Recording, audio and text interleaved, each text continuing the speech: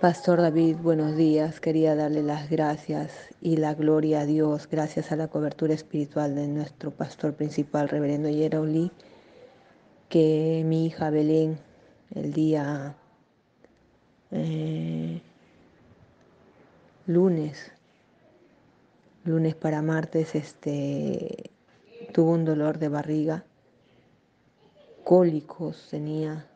Eh, empezó el dolor a las 11 de la noche y yo oré con, oré con el pañuelo de, que oró mi pastor principal dos, tres veces, pero no, no le pasaba el dolor. Era día a día aumentaba, este, tiempo por tiempo aumentaba mucho más el dolor hasta que a las finales este, ella me dice, mamá, ya no aguanto el dolor, por favor llámale al pastor.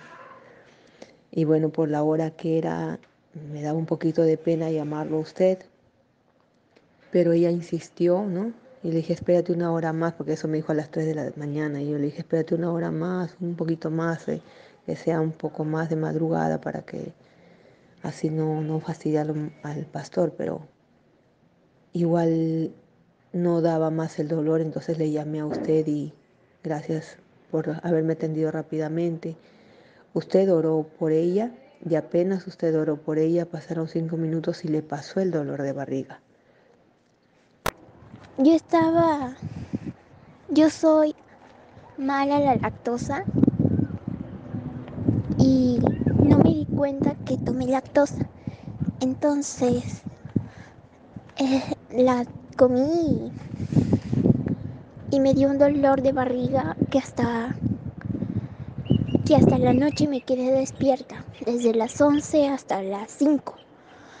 Llamé al pastor David, oró y luego doy gloria a Dios, a Dios por esto, porque me sanó. Y vomité, me salieron náuseas. Y de ahí no me volví a dar dolor de barriga. Gloria a Dios. El dolor de barriga que ella tenía, de alguna forma a mí también sentía que me dolía la barriga. Entonces le pasó el dolor, a mí también me pasó ese ratito el dolor. Me dijo, mamá, ya estoy bien, voy a lavarme los dientes y ahora sí me voy a dormir. Le digo, ponte a orar y da las gracias a Dios.